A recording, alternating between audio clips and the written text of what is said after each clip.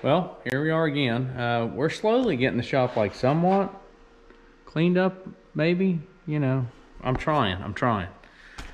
Got like too many things going on at once, and it's just it's gooder. So we got the battery charging for the parts Mustang for this Mustang for the drivetrain because we got to make that car run and perform well before we throw it in here. Um, the good thing is, is I already replaced the, um, I believe they call it the TFI, which is the fancy word for Ford for the ignition control module. Because uh, we don't have spark in it, and guess what? That one's a good one. That's why she's in the toolbox. Why test whenever you can just throw parts? That was a big dummy move. I, I read somewhere online like Money the only time my Mustang ever let me down. That 5.0 boy was whenever that TFI module went out. Yeah, this wasn't the case. So we're going to go another route and actually do some testing this time, but not on this show. This show is about the mullet machine. Now, since our uh, our miles per hour doesn't work that well. I mean, it works, but it like says that you're going, you know, back to the future speeds in town. Um, we're not going to rely on that. And the tach, this is what the tach's doing. I hope you guys can see this. Should I get a light or should I just make you guys squint? Let's get a light. Um, where did our light go? We just had it. It's uh, literally right there. So that's good. Not going crazy at all. So that's that's even more good. All right. So don't hit the car, please. So it looks as if this is what she's a doing. Let me get it over on the tach side. Oh, good. Now you can see. As you can see, she's tacked out and the uh, the oil pressure like barely moves. And I know this car should have oil pressure because it runs pretty darn good without any chatters okay? Now the good thing of it is you don't have to replace the whole gauge. In fact I bought my piece off of the Evil Bay. This is a company that is veteran owned he has a 100% back guarantee. And apparently it's called the uh, Cajun Tach Shop. Yeah. For this, you're going to need a either 5.5 socket and a T15. I'm going to show you on this gauge cluster I have sitting out over here to show you exactly where the bolts and stuff are. Now, I haven't removed that one yet, as you can see. But this will make it a lot more gooder to see. You gotta take, well, not with that one. The T15, take out all of these screws, okay? Now, whenever you get to this part, you'll have to use the 730 seconds and or the um, 730 seconds or the 5.5 and you got to take off this plastic screen. Okay? So Actually, I'm to go ahead and do that to the real car over there. And then I'll let you know. I think you have to use this again to actually get the tach out of it. I think it's secured with the exact same screw. I'll let you know here in a few. So give me just a few minutes and then uh, I'll let you know. This hopefully is a good short and sweet and to the point video. We're kind of we're kind of hoping on that. It's uh, I'm I'm dressed in my Monday best. Yep. Oh yeah. Nothing but the best. So let me get that thing out of there real quick, or at least see if these are the only two parts and parts tools you need, and then we'll lay it all over here on my new workbench, and you know we'll put the new thing on there and see what's going on. All right. Give me just a few minutes. Okay, now I'm super impressed. Uh, The guy's name is Greg Johnson that owns this uh, Cajun Tach Shop. I'm guessing he's around Louisiana or something for Cajun. You know what I mean? Louisiana. Yep, there it is. Okay, so get a hold of him on your uh, eBay store there. And look at this. I mean, he had this sucker, it was wrapped up tighter and I don't know. But look at this. He's got it all laid out for you and detailed instructions. So as I was telling you, or showing you, what have you, if you don't buy his, then shame on you. You should. Anyway, after you remove this piece here, you'll also remove this black piece surrounding your gauges. Where your turn signals are, there's two little green plastic things. You know, that's your turn signals. So, um, be careful. Those lenses will fall, fall out. Mine just fell out. Um, but it was recovered pretty easy. So, apparently all I have to do is, uh, well, here's my tach. We flicker over and uh, we just start replacing. Looks like we undo that one, that one, that little fella. Shoot, do we redo them all? Except for, yeah, we don't have to worry about that fella. Or that guy. Or that guy. But all of these ones, apparently, yep, we got to remove them. So uh, we might as well find some tools, huh? And it says eight quarter inch nuts. So that's pretty cool. We're uh we're happy with that. He uh he's taking all the guesswork out for you. So that's a plus. That's uh that's not the right one, so we're gonna get it. We're gonna grab that one too, just because it looks to me like this one might have a different size nut on there also. Question mark and a questioning voice.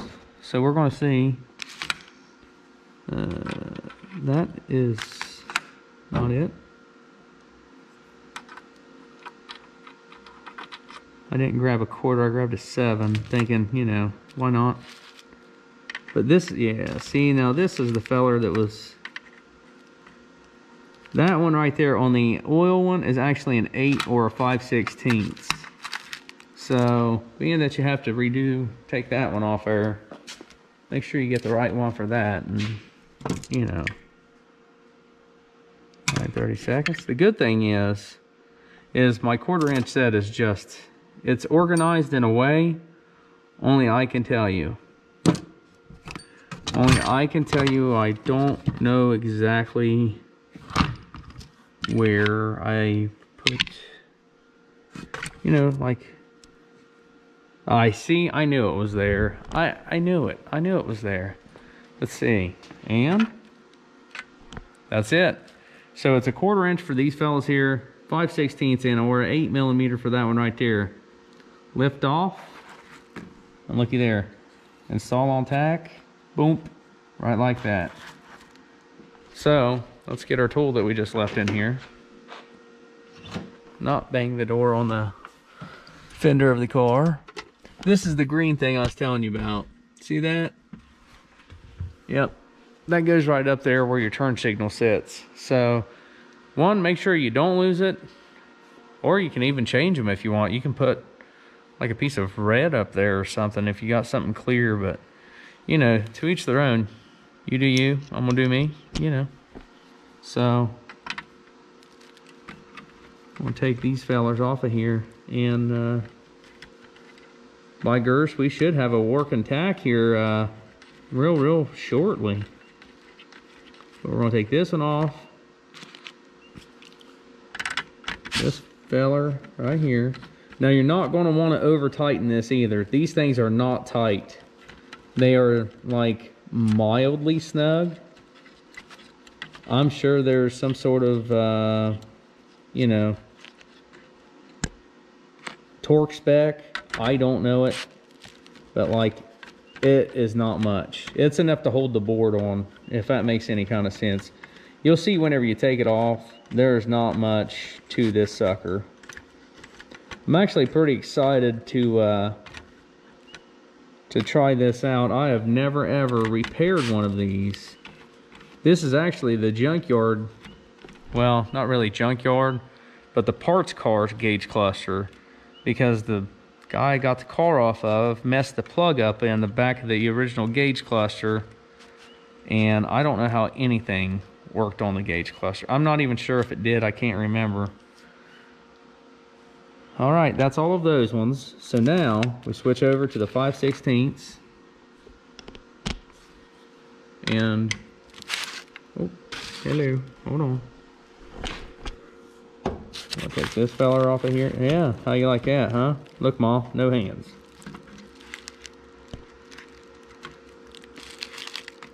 And I don't think you can confuse those fellers. There's just a little bit of difference. These, this one here was a little tighter than the other for the oil gauge. I'm not really sure why. But it looks like you just can, okay, like I said, you can just go magically. Nope, did I forget one? Boom, boom, boom, boom, boom. That's all it says. Maybe you gotta wiggle it just a little bit. Maybe you lift that. Oh, okay. See? I'm glad I done been did that. So you put that out of the way. Then I'm guessing you go back to the quarter inch feller. Make sure you know which way you put that on. I'm glad I'm recording this. I could have messed that up pretty good. So there's two quarter inch ones underneath that first 5 16ths fella. Now, if I would have read the instructions at all, it actually says put them to the side and then go get the other ones. But, you know, I ain't gonna lie to you. I didn't read it. Set that right there. Now, real easy here, guys and gals. Tach, oil, oil, tach. We're just gonna go right down Hello? Are you there? There we go. And we're just to put him back together. And apparently he's got a date on there and everything. Look at that. That's pretty cool. He put his somebody's initials on there. DJ, I'm guessing that must be one of his kids or something. Heck, I don't know. But it's something Johnson, I'm sure, and it says V8, so you know it's a V8 tachometer circuit board. That's pretty cool. But anyway, I'm going to go ahead and button this up together. I don't know if you guys necessarily... Well, I'll just show you exactly how tight we're going to tighten these puppies. We're to go... This is exactly how tight. We're to go... Okay, she... Touched, and that's it. She touched, and then we're going like a quarter turn or something. We're not doing a whole heck of a lot on it. And we're to go in the backwards order that we went in just because it feels right. You know, we're not going to do a star pattern or any of that kind of stuff like on wheels, but you know. But as you can see, this is not, this isn't super, that's just not hard to do. I'm to place that burger on there.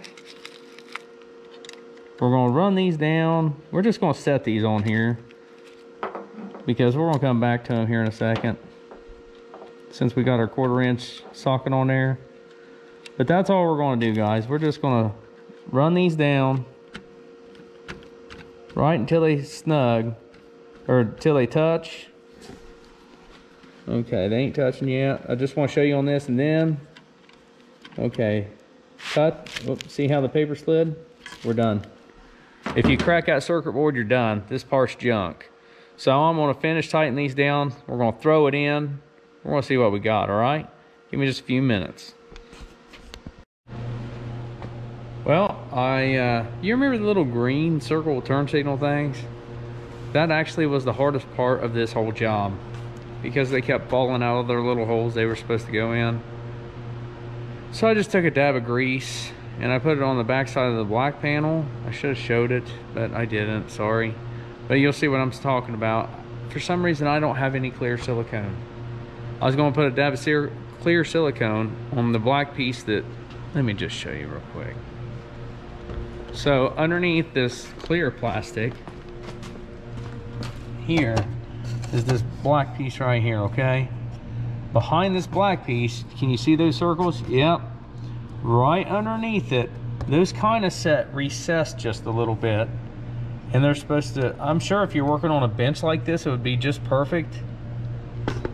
We're working in a car, so they kept falling out. Anytime this would wiggle, you know, like this, because you're trying to slide pieces in and yeah. So I took a dab of grease and went right around the ring of this, just enough to catch that little piece of plastic. It worked, okay? I tried not to. I actually looked for clear silicone. Yeah, it didn't work. So let's see what we got now. Hopefully we have a working tachometer. Let's just see. And let's see, does lights work? Okay, lights work. So Make sure she's in neutralis. Well, shoot. I think I know what that means. Unfortunately, kids, mine is not my gauge. Mine is the plug-in that goes, and I was, I was a little worried about that just because but yeah, mine's the gauge. Or not the gauge, I'm sorry. Mine is the um, the plug-in in the very back of the gauges. The guy crumbled it, the plug-in. I don't know how you do that. So we're going to have to get like behind there and manipulate it some sort of way and make sure it's plugged in even more gooder. And honestly, he broke it free from the actual dash part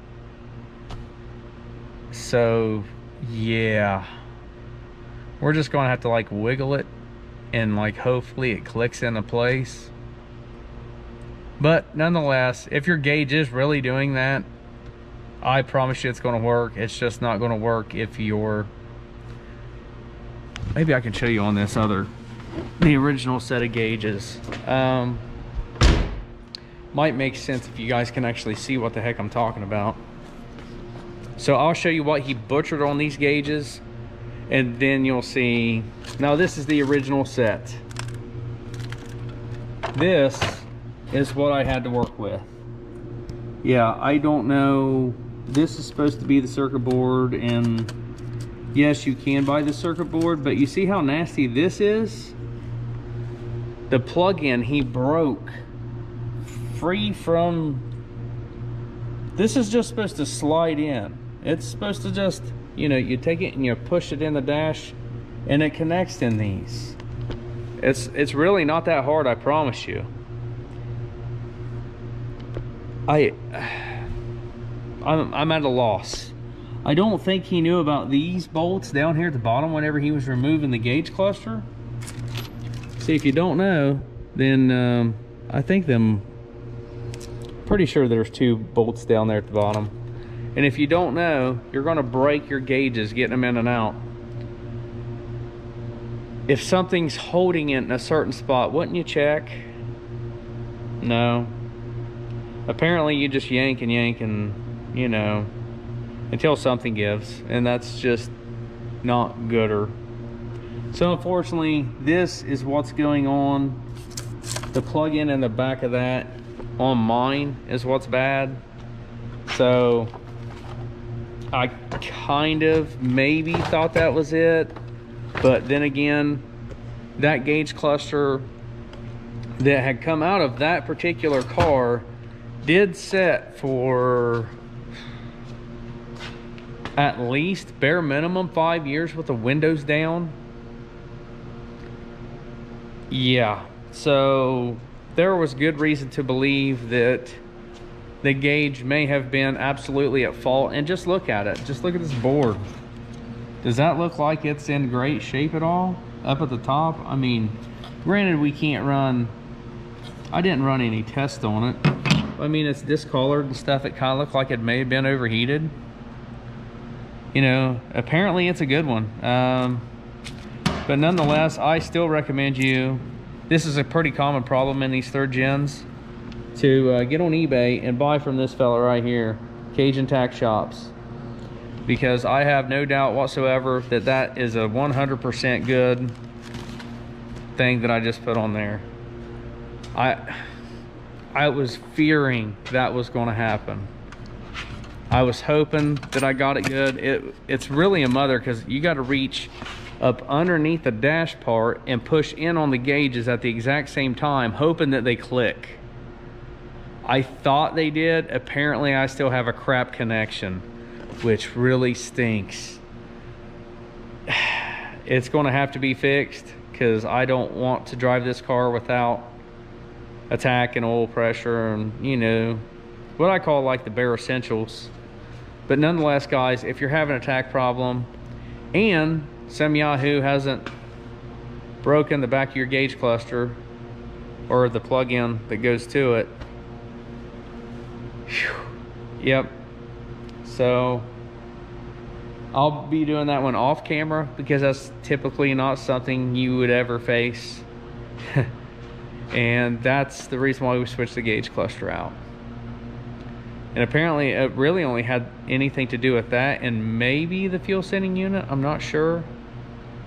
Because uh, the fuel sending unit on this one, like the sending unit is actually brand new. You guys know that if you've watched this series on this car.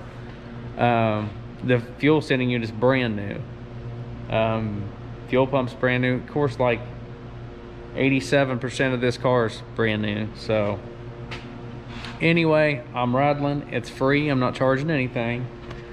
And uh, man, I'm glad we cleaned up that VIN number, dude. That thing looks good. Anyway, I just ADD. Something shiny caught me. You guys ever torn apart a battery part pack and uh, I don't know, like one of these fellers and just wanted to see what made it tick. This is what encouraged me to do my last little trick, okay? This is what is inside. And yep, you're seeing it. I do not have colossal hands. And um, that's that's pretty rinky dink, right? Does that remind you of like a, I don't know, a motorcycle battery or something or a dirt bike battery. So that's what encouraged me to do this number whenever we start getting the uh, car trailer all hooked up. This one right here is $139 with your core charge, which that's going to be my core charge. It's a 12 volt battery. They'll accept it. So we're going to send it straight to the junk pile. But uh, for now on, I believe I am going to carry this particular thing. Now, I still have the little mini jump box just because those things are handy and I want to put one on like pretty much every car I got or at least like transfer it because it's easier. And I would recommend you guys do that too. At least keep you one. If you're going on a trip, what have you, you never know what could happen. So they are handy. But I don't know. I, am kind of got sour grapes because that battery pooped out in like 30 seconds of pulling that car on the car trailer. Hashtag not happy. But anyway, hopefully this was helpful to you guys. Apparently it's not helpful to me because, ugh, but we'll get it. That's not a big deal. Um, we'll be doing at least two more things on the the, the old mullet machine here. We're going to also put the silver stripe down the side, the hockey stripe. I've had it for, you know, like, how long have we been together? Three years? I think about three years. It was like one of the first things I bought. I don't really have an answer why, but it is. So anyway, hockey stripe will go on. We got the exhaust to do and we're going to fix that daggone steering where it's got so much slop in it. That's going to be the next trick for this one. Uh, I still got to wire up my lift. Yep, it's, it's all ready to go except for the wiring. Well, hopefully you guys can hear me. Um, remember how I said the uh, tachometer didn't work because it was bad wiring in the back? Nope, it just started working. Because apparently the tach was stuck.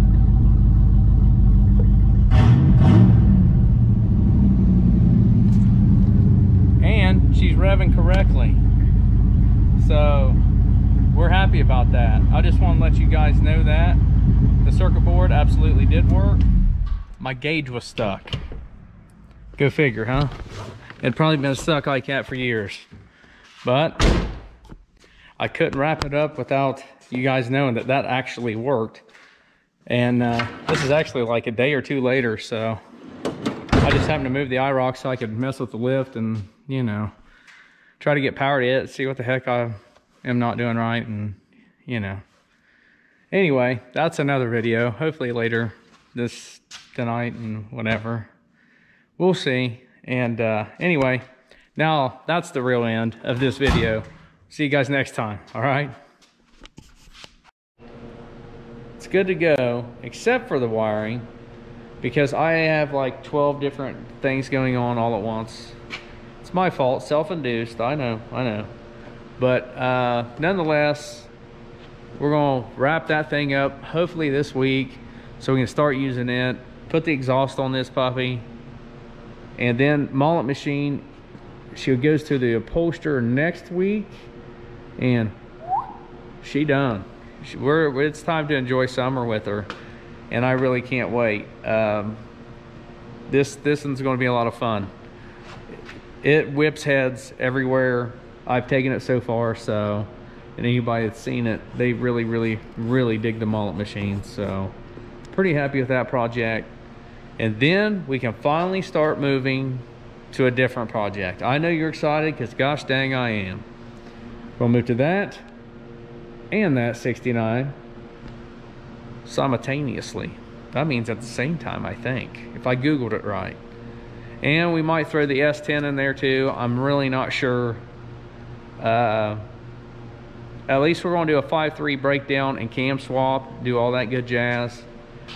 And uh, it's, we're going to be busy this summer and all into next winter and the following winter and like 12 years from now, you know. So we'll have at least like 13, 1400 episodes. And by then, I don't even know. It's, it's hard to tell. But anyway, guys, thanks for watching. I appreciate every one of you. And if you don't mind, hit the old subscribe and like button down there. Tell your friends. And uh, it's getting a heck of a lot better. We'll see you guys next time here on Right Turn Garage TV. Y'all have a great weekend.